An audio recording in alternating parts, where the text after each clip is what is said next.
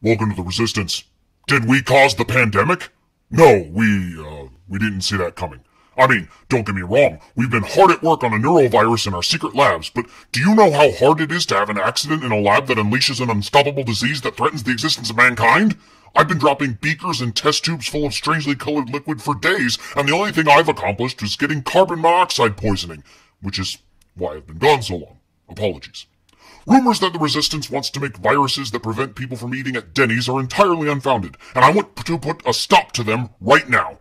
I love Denny's. Some of my best resistance planning has been done around a grand slam and a cup of hot fires coffee. That's coffee poured over hot cocoa mix. It's delicious and has the caffeine and chocolatey goodness anyone who opposes the neoliberal establishment needs. While I'm at it, I need to address the other rumors about resistance efforts. No, we did not cause the financial meltdown of 2008. That was neoliberalism's own doing. No, we did not change any votes in the presidential election. I mean, we tried, but election laws are actually surprisingly airtight. We did make candy bars slightly smaller than you remember from childhood, but that's just because too many revolutionaries got fat after eating Snickers. No, we didn't make the movie Ready Player One or write Ready Player Two, and you should be ashamed for suggesting it.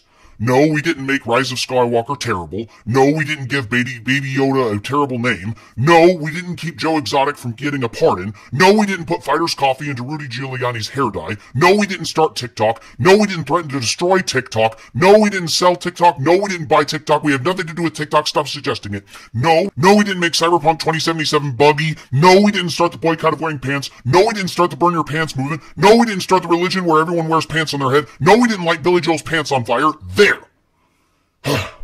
Now that we're on the same page, we can return to our task of keeping PS5s out of stock. Your assignment is to put your pants back on.